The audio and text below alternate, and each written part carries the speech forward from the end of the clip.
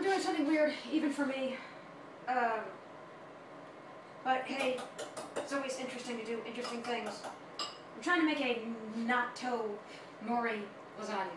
Natto is uh, fermented beans, and don't freak about the fermentation.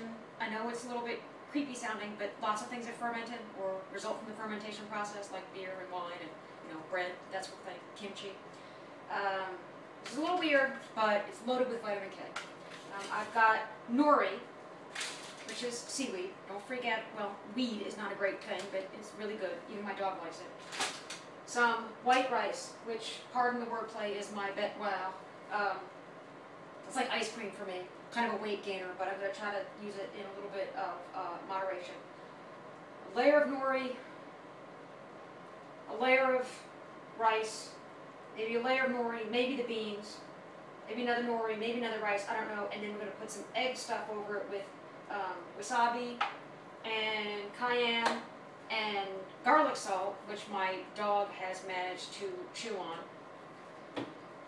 Pour over it the custard, bake it, and uh, push just like a strata, and then we'll see what happens.